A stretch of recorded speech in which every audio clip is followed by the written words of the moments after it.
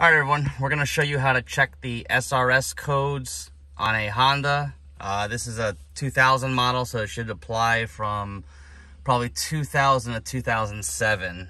Um, the SRS light is on.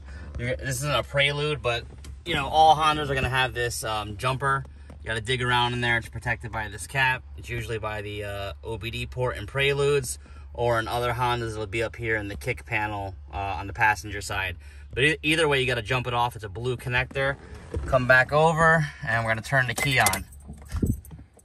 We're going to watch that SRS light, and it should start blinking here in a second. There it goes. Turned off.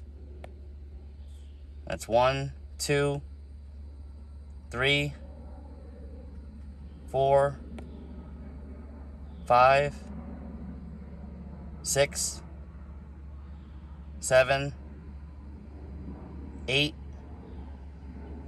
nine, ten. And then one short one. So 10 long, one short. We've been through this cycle already, so we know it's the same code repeating itself. If there were different codes, they would all play uh, in order and then restart again from the beginning. So you want to make sure you watch the sequence about three times to make sure you ain't got no codes. We've done that already. It's a 10-1 code which is like an ABS system replacement or something.